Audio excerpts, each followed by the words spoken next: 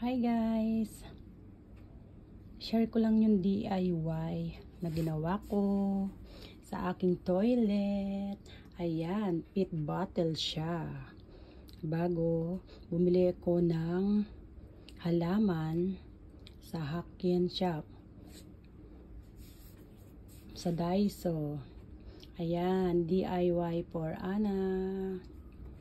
Nag-DIY na naman ako para sa aking toilet. Ayan po ang aking toilet. Madumi. Meshy. Yan. Share ko lang po ang aking DIY.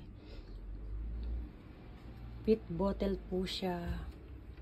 Bago dinasayan ko lang po siya ng ganyan. Kaya ito na naging maliwanag na ang aking toilet. Ayaw kasi ng kasama ko sa bahay ang maraming abubot. Wala siyang magagawa. No choice siya. Ayan, oh. Gusto ko sanang dagdagan pa eh, kaso baka magalit na palayasin ako dito, maging homeless ako. Yan, ang aking DIY. Loob po ito ng toilet, ne.